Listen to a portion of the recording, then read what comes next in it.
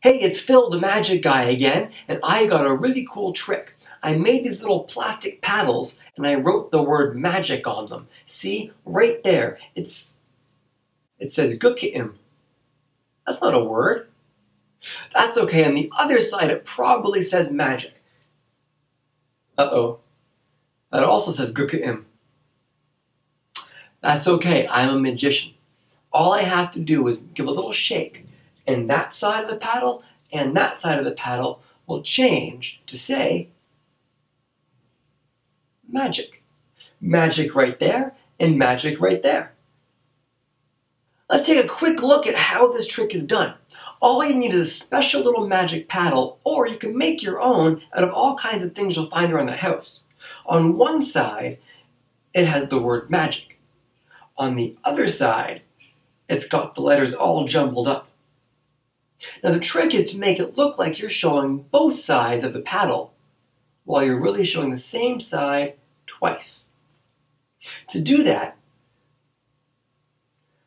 you want to hold it in your fingers like I'm holding it here.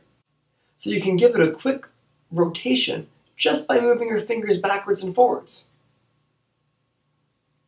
You also want to turn your wrist as if you're going to show the other side.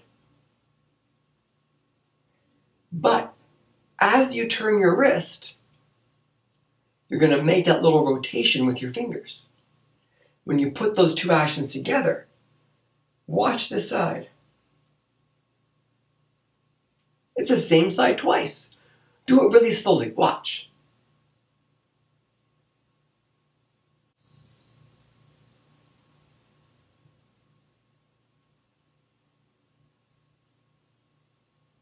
To make the paddle change, you're going to give a shake. But while you're giving it a shake, you're going to secretly turn it around like this. So they see this side, and you pretend to show them the other side. Then you give it a shake, and you turn it. Now they see the other side. Give it a try. It's really easy and it's a lot of fun.